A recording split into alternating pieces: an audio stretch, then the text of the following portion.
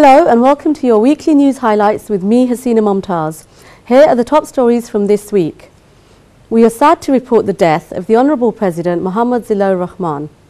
Mr Rahman, who was born in March 1925, has passed away in the same month.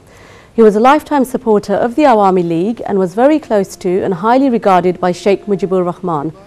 He was elected to the role of General Secretary of the Awami League four times, was the acting chairperson and in 2009 he was elected president by the presidium members of Awami League MPs. Our correspondent Ahmed Pipul reports. Muhammad Zillur Rahman was like a father figure to all the members of Awami League. He was an uncompromising person when it came to principles and ideology. He steered the party on a number of occasions during times of crisis. He was an active participant of the language movement, coming in contact with Bangabandhu in 1947. He was actively involved in the 1962, 1966 and 1969 movements. In 1972, he was elected General Secretary of Awami League. When Awami League came to power in 1996, he was a local government minister and took up the duties and responsibilities of deputy leader in Parliament. He won the hearts and minds of his peers. In the aftermath of 21st of August 2004, his wife, Ivy Rahman, was fatally injured in the bomb attack and lost both legs before eventually succumbing to her injuries.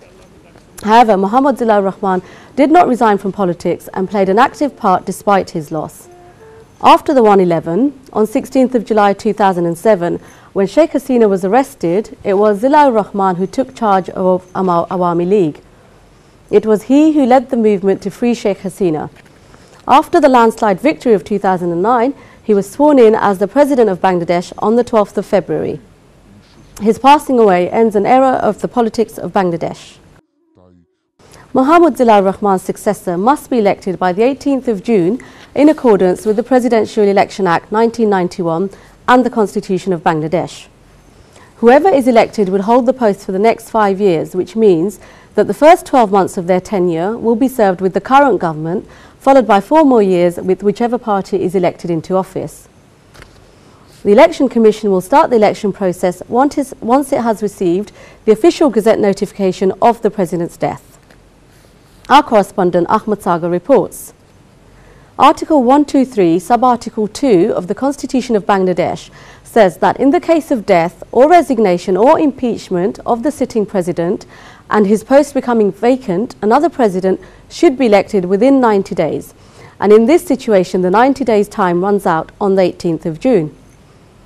Dr. Shahdeen Malik, a constitutional expert, said that the acting president can only continue in his office until the 18th of June. Therefore, a successor must be elected. The Presidential Election Act 1991 says that anyone who is an MP and has reached the age of 35 is eligible to be elected president. The new president is to hold office for a five-year term and can only be removed by impeachment by a two-thirds majority of MPs in Parliament. At present, because two-thirds of the majority of MPs belong to the Awami League party, it is highly likely that the candidates will be from this party. The main candidates in the frame for the presidency are Advocate Abdul Hamid Chowdhury, the Honourable Speaker of the House of Parliament, and the acting president and leader Syeda Sajeda Chowdhury. 25 people have died and 500 have been injured in a tornado in Brahmanbaria. 3,000 houses have also been damaged in the area. In Zilla Sadar and Akhaura Upazila, the tornado has damaged hundreds of houses. The upcoming boro crop has been affected in the region. Two military medical teams have started relief efforts to help the injured. The Honourable Prime Minister Sheikh Hasina and Leader of the Opposition Khaleda Zia have both expressed their sorrow. Our correspondent, Shibauddin Bipu, reports. On Friday evening, many villages in Brahmanbaria, Zilla Sadar, Akhaura Upazila and Bijoynagar were hit by a tornado. Many trees and vehicles were demolished in the villages in Sada Upazila. The tornado also caused disruptions to communications. The seriously injured were submitted to local hospitals where the Red Crescent Charity and other voluntary organisations are working to assist the injured. Durjog Bepostapona and the Relief Ministry of the government has promised 25,000 takas and 20 kilograms of rice to the family members of those dead and 3,000 takas to those injured.